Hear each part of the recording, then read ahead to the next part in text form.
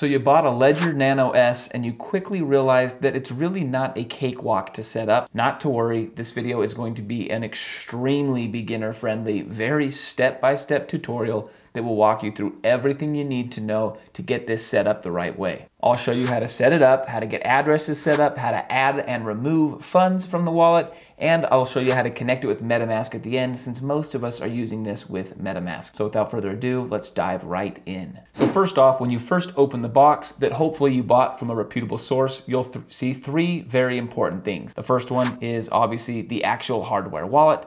The next one is you'll see a USB cord. Now, if you're using this with a Mac, you're gonna need something else probably to plug it into the Mac, some kind of adapter for USB-C. And then the last thing we see is it's going to come with this piece of paper right here. This is extremely, extremely important. And if you ever lose your wallet, what's written down on this paper is going to be the only way for you to ever access the money that's on that wallet. So you're gonna write it down here in a minute and you're gonna store this in an extremely safe place. Now, the first thing you're gonna wanna do as soon as you get your hardware wallet is just plug it in. This does not come with a battery. It draws electricity from the computer. So we're gonna need to plug it in to get started in any way. And you'll see as soon as you plug it in, it'll start to boot up. Now you're gonna see right here, you're gonna see two buttons. And those buttons will correlate with what you see on the screen right here. For example, right now we can see it says welcome, and then there's a tiny little arrow pointing right that correlates to this top button that we can see right here. So I'll click that top button and now you can see it lets me know that I can go left or right to navigate whatever's on the screen. Now please note if you ever want to click enter or confirm something that's on the screen, you'll push both buttons at the same time and that's like an OK or an enter button. Otherwise I can go left and right like that. So you can see right here, press both buttons to validate. Now it's gonna tell us to go to ledger.com slash start. And what we're gonna need to do is we're gonna need to download some software onto our computer. Doesn't matter if we have a Windows or a Mac, either one will work. And that software is what is going to interact with the Ledger wallet. So when you go to ledger.com slash start, where it tells you to go, you'll see right here, there's a download option and you can choose a few different ones. I'm gonna choose Mac, you choose whatever you need to, and then you're going to download and install the software that comes along with it. And now you can see right here in my screen, I've got the application, the Ledger Live app installed, and I can open it up and it will start looking for the Ledger hardware wallet that we have sitting right here plugged into the computer. We'll click Get Started, we'll accept all the terms of use, and then we need to select which device. Now most of the devices are pretty similar, but you should know which device you have. This tutorial focuses on the Nano S. Now this is important to note, right here, you see how it talks about a recovery phrase? That's what we talked about in the beginning if you ever actually lost your Nano S. But I'm going to assume that you're setting up a brand new Ledger Nano S. We'll go there, and then we're gonna work our way through all of the different sales points that it gives you right here. Now you can see right here, it's telling you to turn on the Nano and ours is already on. So we'll click next step right there. Now it's gonna ask us to set up a PIN code. Essentially, anytime we wanna validate a transaction, we're gonna enter this code in the Nano and it can be four to eight digits long.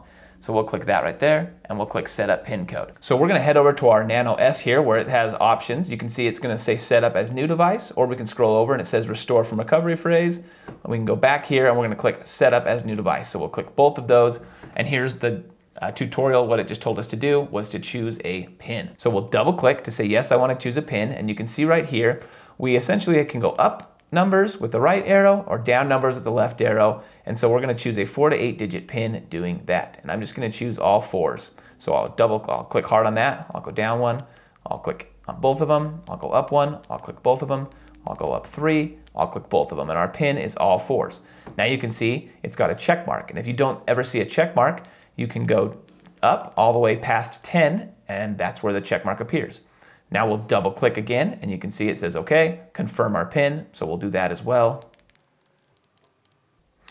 And it's going to tell you now it's going to generate that seed phrase. And this is where it's extremely, extremely important that we write down what it gives us. So I'll click right here a few times until we get to where it's generating the phrase. And you can see it says press both buttons to continue. Now you can see right here, it's going to give you the first word, that's fantasy. And if we take this card that it gave us right here, you can see we write that down in spot one. We'll go over here to the word, and that word is, I believe, essence, and we'll go through every one of those and write them all down. This is going to take some time. Luckily, we only have to do it once. All right, so you can see right here, we've entered all of the 24 numbers that it's given us on this little sheet. Don't worry, we're gonna reset after this so you can steal these numbers or letters if you would like. So you can see right here, we've written down all of our 24 words and now it's gonna have us actually confirm our, our phrase, okay? And I'm gonna click enter, which is both of them at the same time, and it's gonna ask for word one, and it's gonna go through all 24 on the list. So it's gonna give you about five different words to select from each time. So my first word is fantasy. I'm gonna go right, right, and there's the word fantasy, double click. Okay, my next word is essence, and you get the gist. We'll go do this real quick.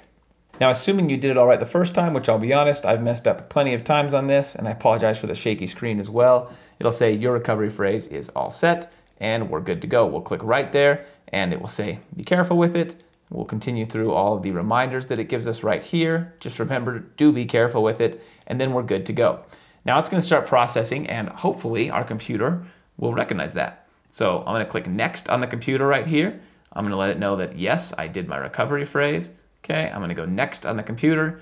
I'm gonna go next again, and I'm gonna click OK, I'm done. Now you can see right here on the actual ledger, it is now letting me know your device is now ready, which is great. But first, I'm gonna have to take this funny little quiz on my computer over here where it wants to make sure you actually understand what you're getting into. So as it says right here, uh, my crypto is stored on the blockchain or on the nano. So I'm gonna click on the blockchain here and look, it's correct. That just lets you know they're not actually storing coins on here. This is just storing the keys or the, uh, the code that'll give you access to the crypto that's being stored on the blockchain.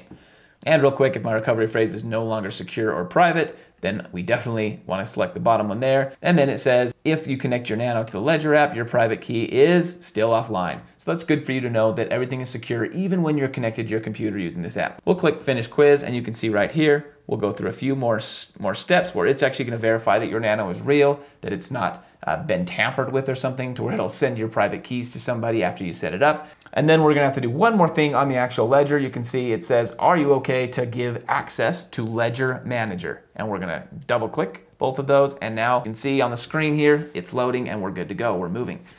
So we'll click continue on the screen. You can see a lot of bouncing back and forth.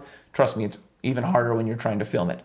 Now, one thing I want to add, uh, this is, I've already set this up before in the past, and so I don't have this notification, but typically when you get a brand new one and it's a brand new app, You'll see in the top, it's gonna ask you to update the firmware on your ledger. You're gonna wanna go about doing that. So do click that and update before anything else. And so everything is up to date. Now, the next thing we wanna do is adding an account. So you can see right here, I can click add account and I can choose an asset. So the way this works is it's going to have to set up a private key for each asset or each blockchain that it's going to be interacting and setting up addresses with. So we're gonna call those accounts. Now it's important to note, for example, on the Ethereum blockchain, there's hundreds, if not thousands of different coins. Those each don't have to have their own address, they just need to have one Ethereum overarching address for them all. So we'll click Ethereum right here, and you can see it's gonna say ETH in parentheses, meaning this is on the ETH blockchain.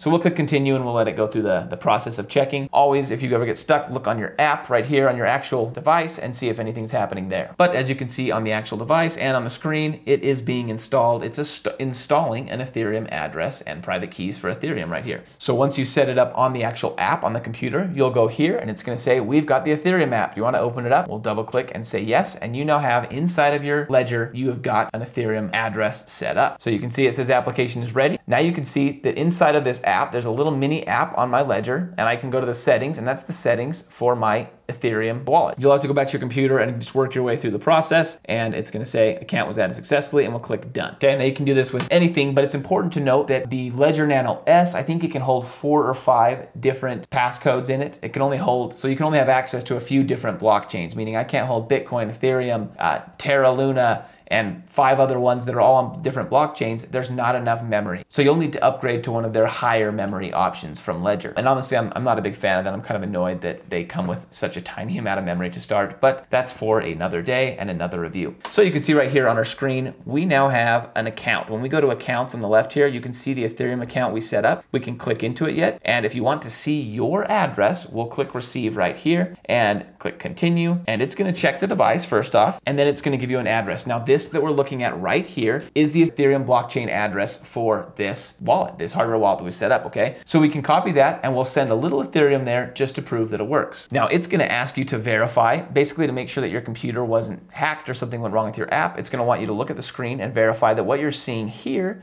is exactly what you're seeing on your computer screen.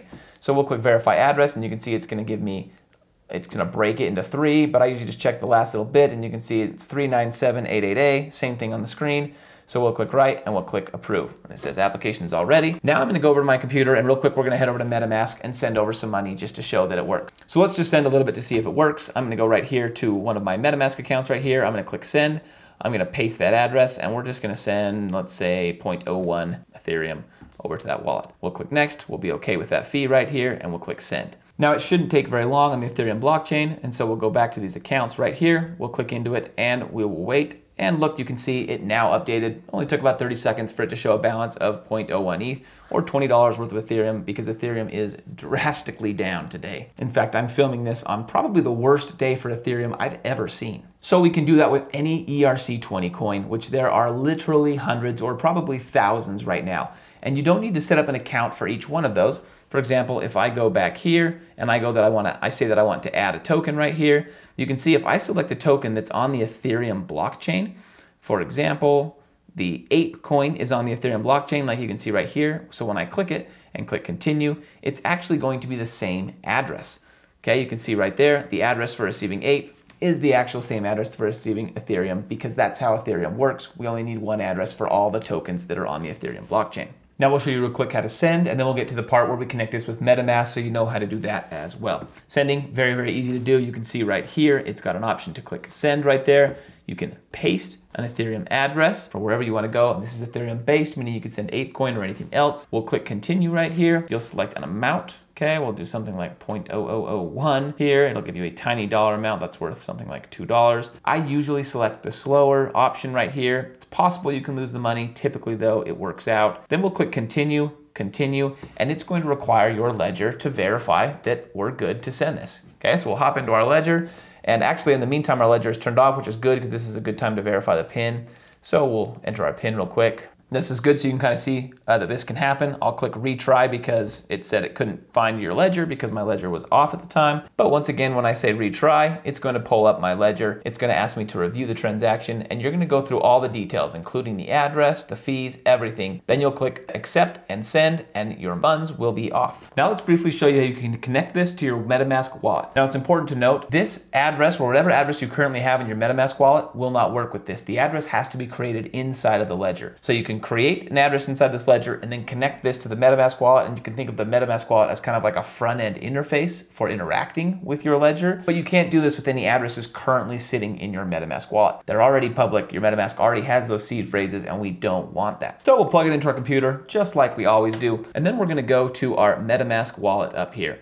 And you can see right here, right here, we can click on your profile and you can click connect hardware wallet. It'll take you to a page where you tell it what kind of wallet you want to connect to. You'll click continue and right here yours will not say paired. I've been testing to make sure it works so mine does say paired but you'll click connect right there and it's going to go find and connect to your ledger. Once it finds your ledger it's going to look and ask you which wallet you want to allow MetaMask to have access to and you'll select typically that first one that you have funds in but whatever one you want right there. Mine's already been selected so I'll just click cancel and we're all good to go. Now when I open my MetaMask I've got my normal MetaMask wallet right here okay? And I've got my ledger right here. And I click in there and there's that $10 balance. Now I can go to uniswap.org or SushiSwap or whatever it is that you typically use for these exchanges. And we have a full tutorial on Uniswap if you'd like on this channel, but you'll be able to go and do simple swaps with the Ethereum in your account. So for example, it says you've got Ethereum and you may want this token or some other token. We'll say I want just a tiny amount of that token right there. Now, when you go to click swap, it's going to confirm with this Ledger wallet. So MetaMask is going to pop up just like it always does. In my case, it's going to say insufficient funds because crazy enough, right now, uh, fees are close to $120, which we won't spend on this tutorial. But all you have to do is you'll click confirm, and then you're gonna have to once again pull up your ledger right here, and it's gonna ask you to go through the transaction just like we just did using the native app, and then you'll double click to select that you want it to go through. And that's how you verify inside of your ledger that you're okay with what's happening on the MetaMask front end. The last thing you need to know is you can only add a few addresses to the Nano S. It's the Nano or the small version. It has very little memory, which means you can probably add about four different addresses. Now, when I say addresses, I mean you can add an ERC20 address and any ERC20 token will work. And then you can add a BNB address and any BNB token will work and a Bitcoin address, but you can only add a few. If you want more, you'll need to upgrade to the higher memory version that Ledger offers, which I don't love, but that's just the way it is. And that's how you go about setting up your Ledger Nano S in a secure way, making sure that no one has access to your crypto unless you verify it. As that quiz said, once you get this done and once you get this set up, your seed phrase and your security phrase is being stored on this Ledger Nano S, and it's never given to MetaMask and never given anywhere else, and so your funds can be considered as secure as possible, assuming you take this seed phrase and you put it somewhere safe. As always, we try to do this with no fluff. If you like crypto without all the fluff and out all the hype and out all the people telling you that things are going to go up to $100,000 in a few days, this is the channel for you. Go ahead and click subscribe. Thank you so much for watching.